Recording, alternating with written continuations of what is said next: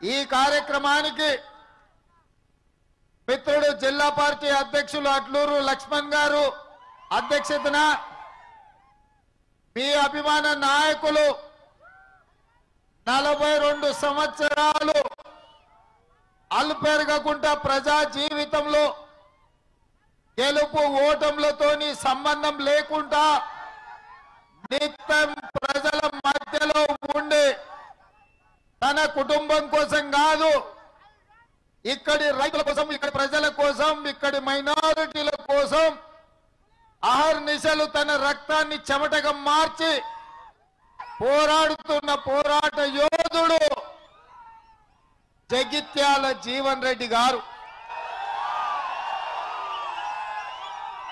నేను ఉపన్యాసం ఇయ్యాలని వేదిక మీద వచ్చినప్పటి నుంచి నేను ఆలోచన చేస్తున్నా. జీవనన్న ఇంటి పేరేమో ఉండే చెప్దామని. కానీ నాకు జీవనాన్ని ఇంటి పేరు గుర్తొస్తలేదు. జగిత్యాల జీవన్ రెడ్డి అనే గుర్తొస్తుంది.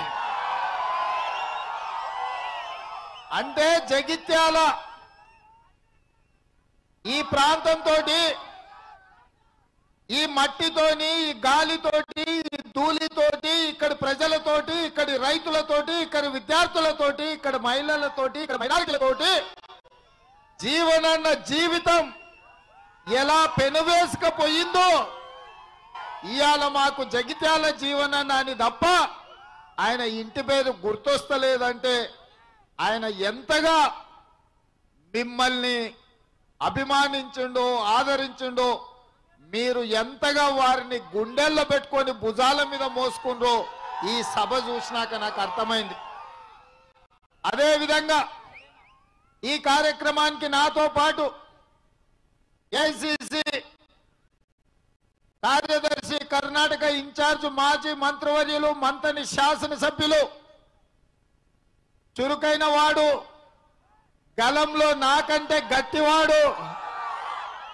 మిత్రుడు శ్రీధర్ బాబు గారు అదే విధంగా మీ బిడ్డ మీ కరీంనగర్ బిడ్డ ఒక్క అవకాశం ఇస్తేనే తెలంగాణ రాష్ట్రం సాధించిన మాజీ పార్లమెంట్ సభ్యులు పొన్నం ప్రభాకర్ గారు సిరిసిల రాజయ్య గారు డాక్టర్ మల్లు రవి గారు ఆది శ్రీనివాస్ గారు మేడుపల్లి సత్యం గారు ఈ జిల్లా పతి నాయకులు జగిత్యాల శాసనసభ నియోజకవర్గ నాయకులు మండల పార్టీ అధ్యక్షులు గ్రామ పార్టీ అధ్యక్షులు సర్పంచులు ఎంపీటీసీలు జడ్పీటీసీలు కౌన్సిలర్లు కార్పొరేటర్లు ప్రాణ సమానులైన కాంగ్రెస్ పార్టీ కార్యకర్తలందరికీ కూడా ఎంత విజయవంతం చేసినందుకు మీకందరికీ మనస్ఫూర్తిగా ధన్యవాదాలు అభినందనలు కృతజ్ఞతలు మిత్రులారా.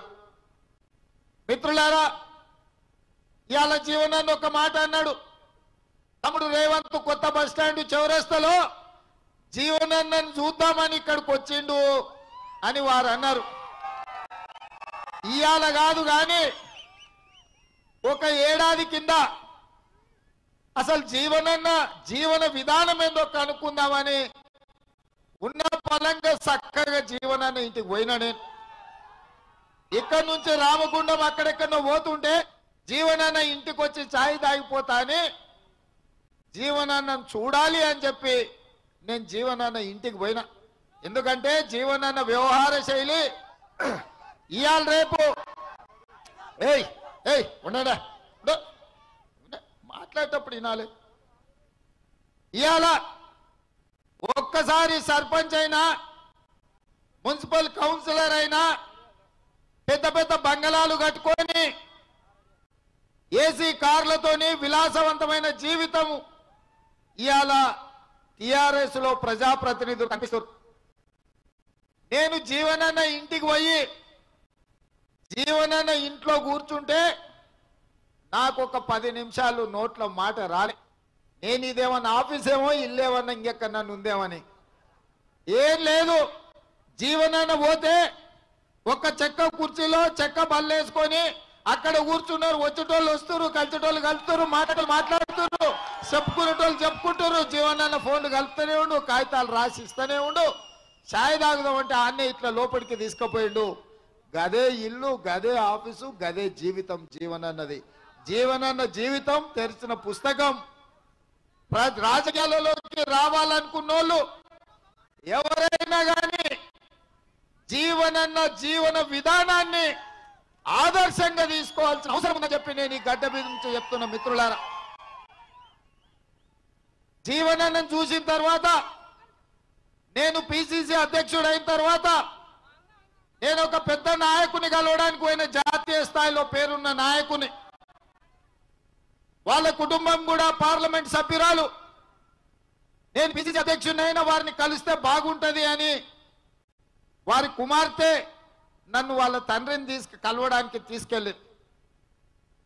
నేను కూడా వారిని అట్లనే అనుకున్న వారికి ఉన్న పేరు ప్రతిష్టలు వారి రాజకీయ ప్రస్థానం చూసి అసలు వాళ్ళ జీవితం బంగారు పల్లెంలో ఉంటుంది బంగారు కుర్చీలో కూర్చుంటారని.